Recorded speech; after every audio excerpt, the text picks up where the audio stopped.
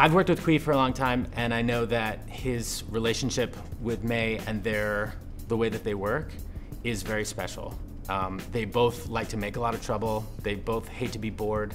They both uh, are really interested in having a good time and sharing that. Their simpatico is uh, very present in everything that we do. And so that vibe, that energy is very, very in evidence when you see it.